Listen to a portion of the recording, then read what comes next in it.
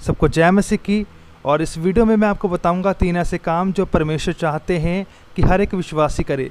परमेश्वर चाहते हैं कि हर एक विश्वासी किसी भी बात की चिंता ना करें कि क्या खाएँगे, क्या पहनेंगे।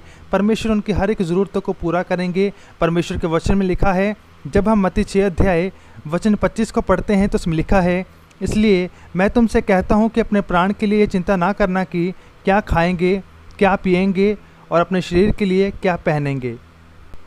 परमेश्वर का वचन बताता है कि परमेश्वर विश्वासियों से चाहते हैं कि वह प्रतिदिन परमेश्वर के वचन को पढ़ें और उनके अनुसार अपने जीवन को व्यतीत करें।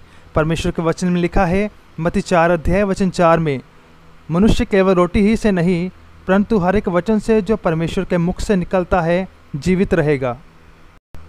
परमेश्वर का वचन बताता है, यदि आप प्रभु यीशु मसीह पर विश्वास करते हैं और चाहते हैं कि आपको हर प्रकार की आशीषें मिलें तो सबसे पहले आपको परमेश्वर के राज्य और धर्म की खोज करनी चाहिए, यानी कि परमेश्वर के वचन को पढ़ना चाहिए, प्रार्थना करनी चाहिए, उपवास करना चाहिए और परमेश्वर के वचन के अनुसार अपने जीवन को व्यतीत करना चाहिए।